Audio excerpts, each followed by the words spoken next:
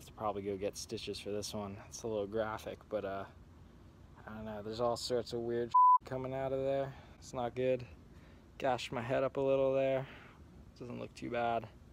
And uh, gave me a pretty solid, uh, I guess that's a black eyebrow. Um, probably one of the more stupid things I've ever done in my life. Uh, there definitely is a risk involved in these dry ice, or sorry, liquid nitrogen rockets.